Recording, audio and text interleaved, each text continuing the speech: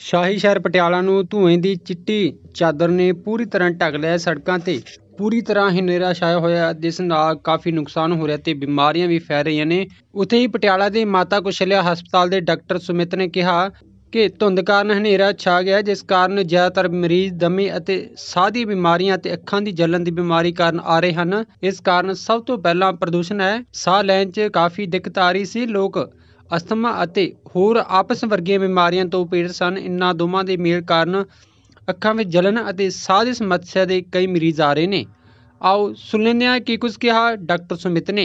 Sir ਇਹ ਪਰਾਲੀ ਨੂੰ ਅੱਗ ਲਾਉਣ ਵਾਲਾ ਨਤੀਜਾ ਹੀ ਹੈ ਜੀ ਇਹ ਜਿਹੜਾ ਪ੍ਰਦੂਸ਼ਣ ਉਹ ਹੈ ਵੀ ਹੈ ਪ੍ਰਦੂਸ਼ਣ ਦੇ ਹੋਰ ਕਾਰਨ ਵੀ ਨੇ। ਉਹ ਇਸ ਸਮੇਂ ਕੋਈ ਪਰਾਲੀ ਦਾ ਧੂੰਆਂ ਨਾਲ ਰਲ ਜਾਂਦਾ ਹੈ ਤਾਂ ਉਹ ਵੱਧ ਜਾਂਦੇ ਨੇ ਜਿਹੜੀ ਪਹਿਲਾਂ ਤੋਂ ਹੀ ਖਰਾਬ ਅ, ਹਾਲਾਤ ਹੁੰਦੇ ਨੇ ਉਸ ਉਹ ਹੋਰ ਵੱਧ ਜਾਂਦੇ ਪਲੱਸ ਜਿਹੜਾ ਕਿ ਮੌਸਮੀ ਚੱਕਰ ਅਜਿਹਾ ਬੰਦਾ ਹੈ 'ਚ ਹਵਾ ਦਾ ਵੇਗ ਅਜਿਹਾ ਹੁੰਦਾ ਹੈ ਕਿ ਸਾਰਾ ਨਾਰਥ ਇੰਡੀਆ ਜਿਹੜਾ ਕਿ ਪੰਜਾਬ ਹਰਿਆਣਾ ਹਿਮਾਚਲ ਤੇ ਦਿੱਲੀ ਜਿਹੜਾ ਇਹ ਬੈਲਟ ਹੈ ਇਸ ਤੇ ਧੂੰਆਂ ਦਾ ਅਸਰ ਕਾਫੀ ਵੇਖਣ ਨੂੰ ਮਿਲਦਾ ਹੈ ਇਸ ਸੀਜ਼ਨ ਤੇ।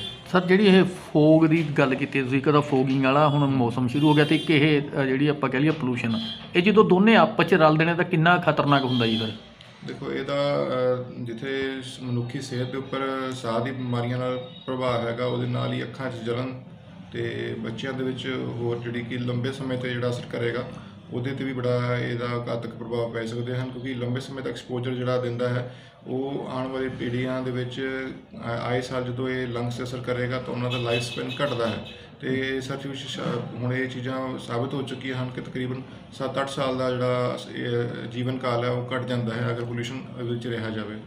ਤੇ ਸਰ ਇਹ ਕਿਵੇਂ ਸ- ਅ, ਹੱਲ ਹੋਊਗਾ ਜੀ? ਕਿਵੇਂ ਠੀਕ ਹੋ ਸਕਦਾ ਹੈ? ਤੋਂ ਛੁਟਕਾਰਾ ਕਿਵੇਂ ਮਿਲ ਸਕਦਾ ਇਹਦੇ ਅ, ਕਈ ਨ- ਹੁਣ ਇਹ ਕੁਝ ਚੀਜ਼ਾਂ ਜਿਹੜੀਆਂ ਕਿ ਰਾਜਨੀਤਿਕ ਸਤਰ ਤੇ ਤੈਅ ਹੋਣਗੀਆਂ ਕੁਝ ਚੀਜ਼ਾਂ ਪ੍ਰਸ਼ਾਸਨਿਕ ਸਤਰ ਤੇ ਤੈਅ ਹੋਣਗੀਆਂ।